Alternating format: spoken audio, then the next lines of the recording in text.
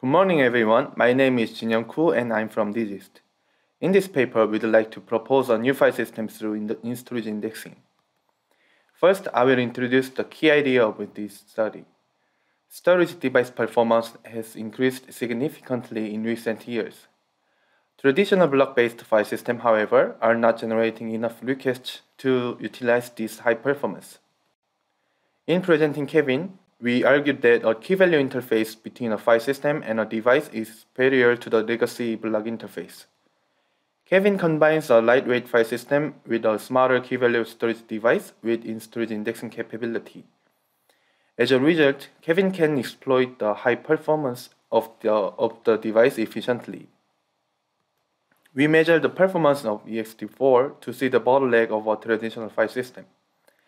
As a baseline, we ran random read-write benchmarks to the SSD, which is directly accessed without a file system, and we can see that the performance scales. However, metadata-intensive workloads on, under ext4 shows show almost no scaling in performance. The fsync-intensive workloads FileMail also doesn't scale well either.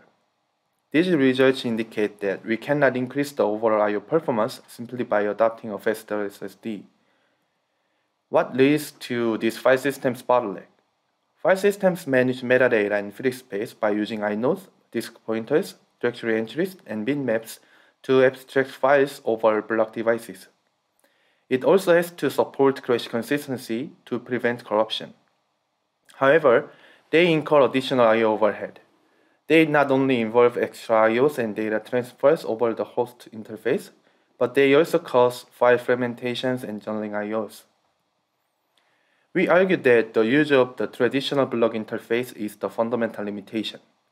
Blocks do not vary in size, and atomicity is only provided by per block granularity. With such a simple interface, it becomes a burden to the file system.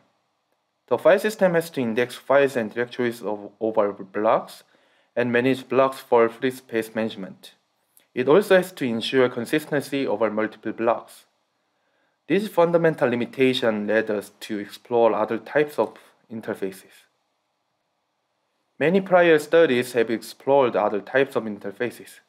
Extended block interface cooperate with the device to perform few functionalities such as journaling. By offloading such tasks to the device, it can reduce the amount of traffic between the file system and the device for crash consistency, reducing the overhead for journaling. However, as it is still based on a block interface, it doesn't resolve all the problems at once. DevFS proposed file interface which moved the file system to the device and made the device to provide file level access to the host. This forces our file operation to be done inside the storage device, thus greatly, greatly reducing the data traffic between the host and the device. While this the IO bottleneck from the traditional host file system, it adds a high cost to the underlying device to implement advanced functionalities like snapshot. We propose Kevin based on key-value interface to improve I.O. performance and efficiency. Kevin SSD exposes key-value objects through in-storage indexing to the host, and the host uh, uses these to implement a file system. The storage device only has to index simple key value objects and is more cost effective than file system SSD. The Kevin file system abstracts files and directory by mapping key value objects. The data transfer for indexing key value objects occurs in storage, which greatly reduces the host file system's traffic. Therefore, the file indexing and crash consistency overhead from traditional file systems are removed. I will now talk about how the file system and SSD works under Kevin. To provide compatibility with virtual file system, KevinFS maps files and directories to key value objects and translates POSIX system calls to key value commands. Kevin SSD handles the indexing of key value objects that were sent from the file system. Kevin SSD also supports transaction to provide atomicity over multiple key value objects. KevinFS makes use of this to provide file system consistency with low I.O. delays. Next, I will talk about how KevinFS translates file operation to key value objects and how Kevin SSD indexes key value objects over the NAND flash. KevinFS employs two simple on-disk structures. We use the inode number-based key naming for mapping. This reduces the length of a key, which is ideal for Kevin SSD's LSM tree algorithm, and provides lower mapping overhead as opposed to full path-based naming. This image shows the file system's hierarchy and the number below the file name is the inode number. First, each file and directory has its own meta object. The key in a meta object starts with the prefix m and includes the parent inode number and file name. For example, the file cached key is m, m50 and cat. The value in met, the value in a meta object holds the file information. Next, a regular file contains one data object and it stores the file's contents. The key of a data object starts with the prefix d and the file's inode number. Here, Kevin does not allocate a data object when the target is a directory, such as a directory entry. Next, I will explain how a file operation is translated into key value commands. This table shows the matching key value commands on a given system call.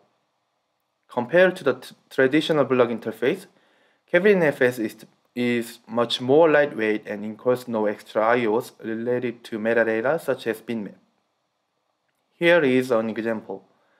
To create a file named fish under the pet directory, KevinFS write a new meta object using the set command. As I mentioned before, the key for the, the key for this meta object holds the parent inode number. When a write system call is executed, KevinFS write a new, new data object using the file's inode number as the key. I've mentioned that there are no data objects for directory management. So to read to read the pet directory, KevinFS uses the iterate command. The iterate command uses the prefix m and the directory's inode number to take meta objects of subfiles. After the iterate command, the meta objects of files under the pet directory are returned. KevinFS only performs file operation on meta and data objects. This simple architecture greatly reduces the file system's metadata, metadata traffic. Now the question is how are key value objects mapped to NAND flash pages? Kevin SSD virtualizes key value objects over NAND flash. Kevin SSD uses LSM tree to index key value objects. With our LSM tree's key value separation, keys are sorted inside key pages and values are logged to value pages. The values inside the log are pointed by a key. Kevin SSD indexes meta and data objects separately.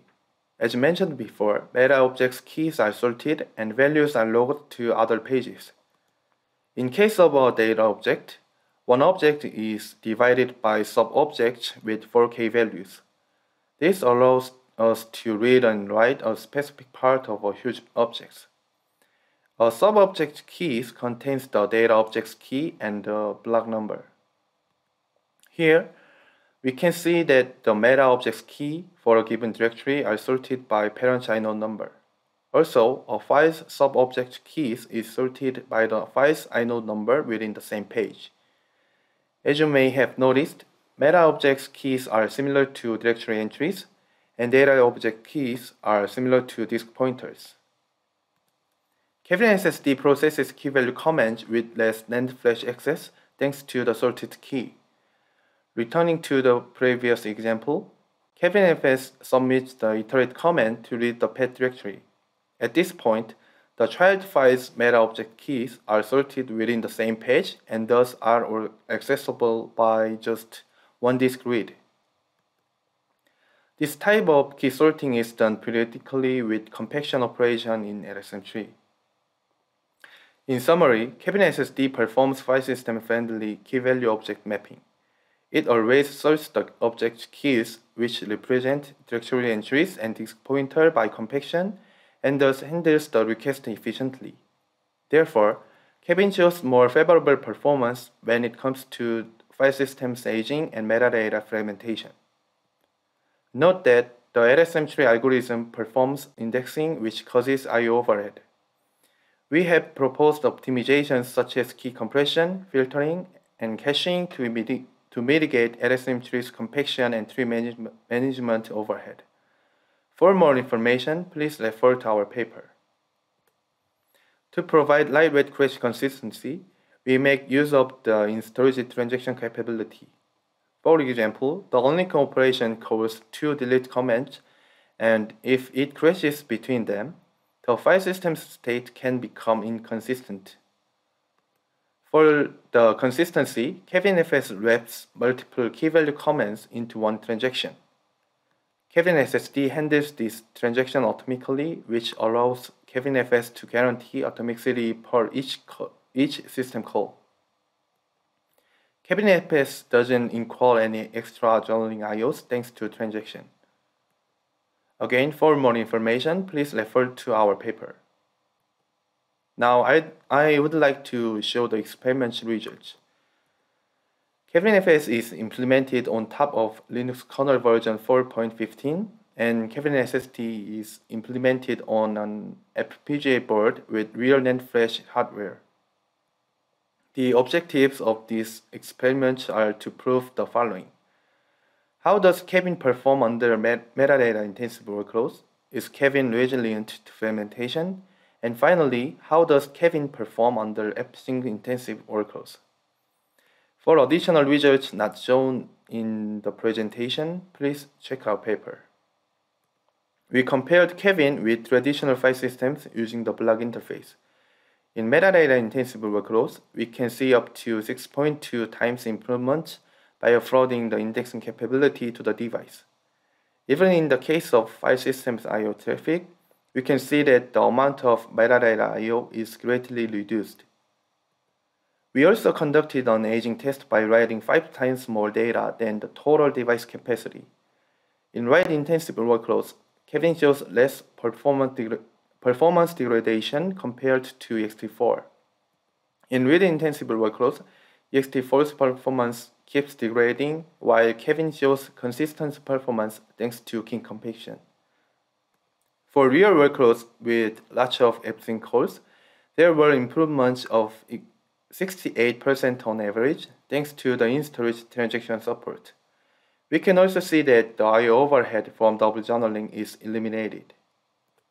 In conclusion, Kevin resolved the fundamental limitation of the block interface by offloading operations to the storage device and using a richer key-value interface.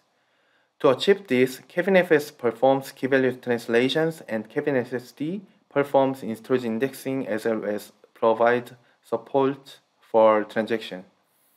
As a result, we saw a sharp decrease in metadata traffic, resulting in performance improvements across a variety of workloads. Thank you for listening to my presentation. Please contact me via email if you have any questions.